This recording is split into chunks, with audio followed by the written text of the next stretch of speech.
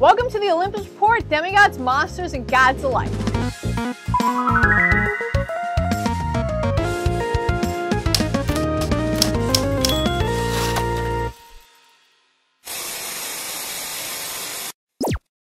The Riordan verse, in my opinion, is as close to perfect as you can get, but that doesn't mean there isn't the occasional mistake. Before you watch this video, if you haven't already seen parts 1 and 2, please go check them out first. But if you have seen them, here's everything you need to know about mistakes and plot holes within the Riordan verse, part 3.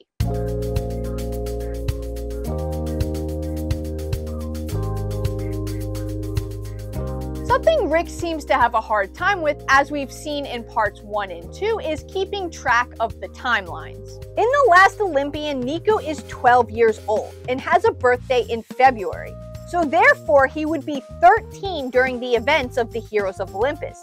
Yet he stated that he's 14.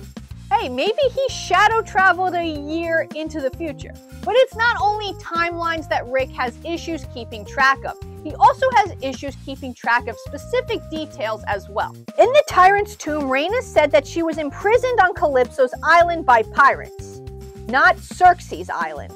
Reyna has never been to Calypso's island, so again, this is a mistake. And here's another one involving Reyna.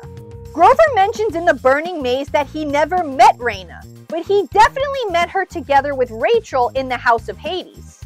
But hey, it's Grover, so he fully could have forgot. So let's move on. In the Mark of Athena, Annabeth states that a bright red car hit Arachne and breaks through the floor, plunging them both into Tartarus.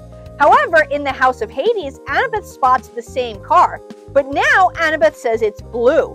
Maybe like underwater, colors are seen differently in Tartarus, or maybe Rick just forgot.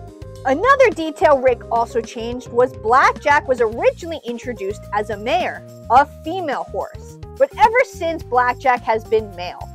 Rick has stated that this was a mistake on his part. But besides just details, Rick also has some issues keeping track of names. As stated in part 2, in The Sun and the Star, Nico accidentally calls his mother, Maria, Bianca.